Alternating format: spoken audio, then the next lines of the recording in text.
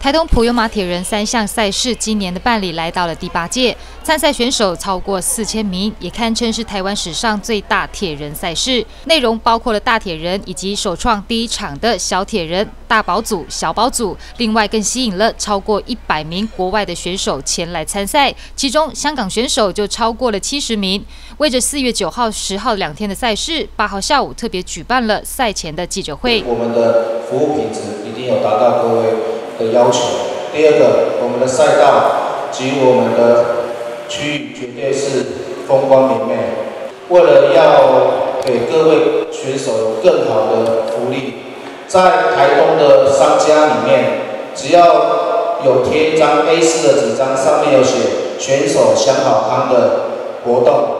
店家都会享有优惠。记者会上邀请到台东超级两百二十六 K 三连霸冠军的超铁大魔王李高伟，担任今年度赛事的代言人，分享参加铁人三项十二年来的心路历程，也分享他是如何兼顾工作、训练、家庭以及生活，并且让铁人三项成绩逐年成长。很多朋友会觉得说，这是一个不可思议的距离跟一个项目，但在我这十二年那我的训练模式。都是以每天三十分钟到一个小时为主，然后有时候是早上、下午训练。